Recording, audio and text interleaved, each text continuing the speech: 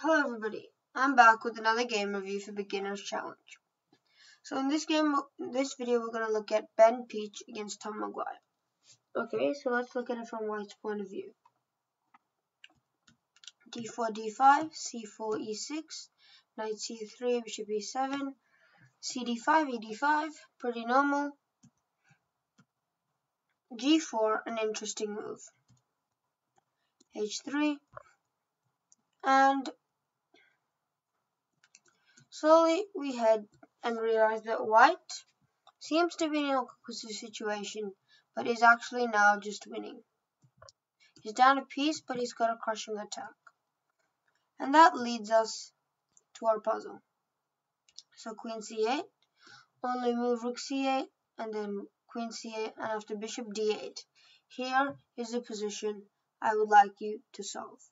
I'll give you about 30 seconds to try and figure out what white played that pretty much won him the game.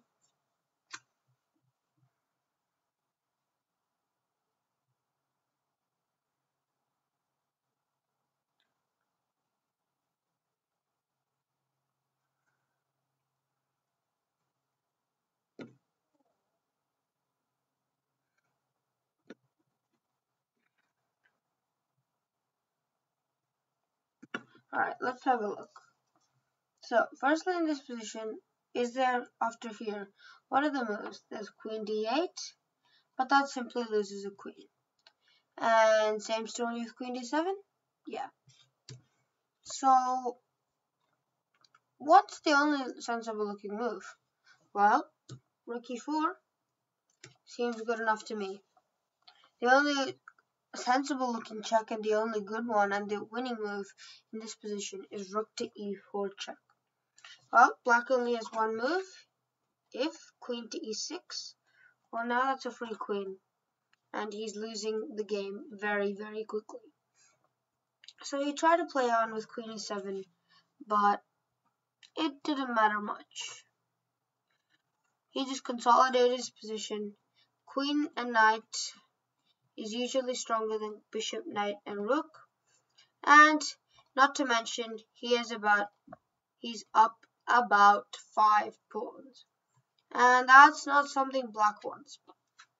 And as it shows, black easily lost easily lost the game. In fact, he just lost his last pawn and he just resigned. And Ben won the game. Now back in this position, and he played rook c8. You might have been wondering, is rook e4 here a move? Now this is for the stronger players, but it sort of is because after here, then rook c8 checkmate. But unfortunately, he doesn't really have to take the queen. So no, it's not necessarily the correct answer. Alrighty, so in this video we reviewed another game from the 2020 Nell van de Graaff. If you're enjoying my videos, don't forget to like, subscribe, share, and hit the bell button until the next video. Adios, everybody.